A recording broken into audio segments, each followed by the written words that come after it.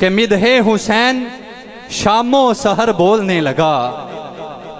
مدح حسین، جڑا جڑا حسینی ہے وہ ہے جملہ، کہ مدح حسین مدح حسین شام و سحر بولنے لگا۔ مجھ میں میری یہ ماں کا ہنر بولنے لگا۔ مدح حسین شام و سحر بولنے لگا۔ مجھ میں میری یہ ماں کا ہنر بولنے لگا۔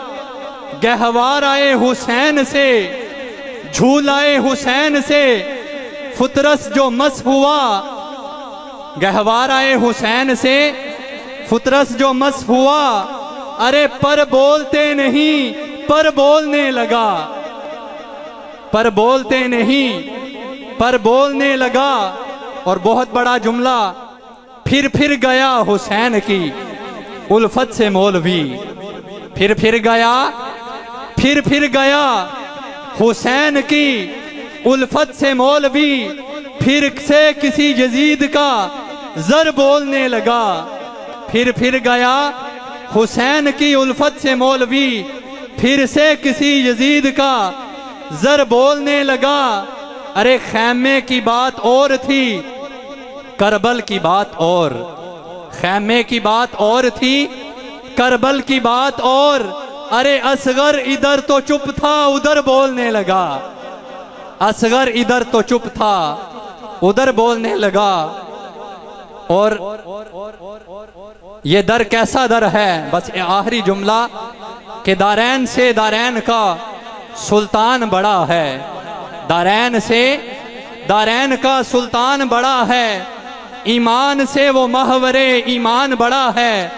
اور چھوٹی ہے تیری بات تیری ذات بھی چھوٹی، چھوٹا ہے تو تو وہ عرش کا مہمان بڑا ہے۔ میں کس لیے زمانے کے تکلم سے ڈروں گا؟ ارے سر پر میرے شبیر کا فیضان بڑا ہے۔ سر پر میرے شبیر کا فیضان بڑا ہے۔ اور اے زین اے زین میں اس در کی غلامی پہ ہوں نازاں۔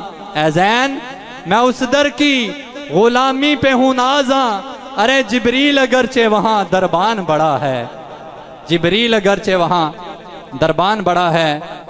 حاضرین محترم، ہماری یہ خوش بختی ہے کہ آج کی یہ چھٹی نشست میں حضرت علامہ عبدالرشید اویسی سیالوی صاحب نے اپنی بے پناہ مصروفیات میں سے وقت نکالا اور الحمدللہ یہ بوٹا قادری صاحب اور سید سمی شاہ صاحب اور اہل محلہ ان کی یہ محنت کی وجہ سے انشاءاللہ العزیز یہ بارہ محرم الحرام تک یہ سلسلہ چلتا رہے گا اور جس طرح آج آپ کا آپ کے سامنے حضرت صاحب تشریف فرما ہے انشاءاللہ آنے والے دنوں میں اسی طرح ہمارے گلشن اہل سنت کے مہکتے پھول آپ کی سماعتوں کے حوالے کیے جائیں گے تو انشاءاللہ آپ نے اسی طرح بارہ محرم الحرام تک محبت کے ساتھ، ذوق اور شوق کے ساتھ تشریف لاتے رہنا ہے۔